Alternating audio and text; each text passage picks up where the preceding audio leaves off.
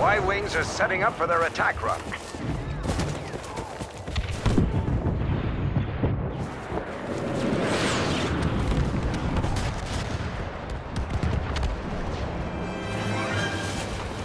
The AT-AT is defenseless. Now's our chance.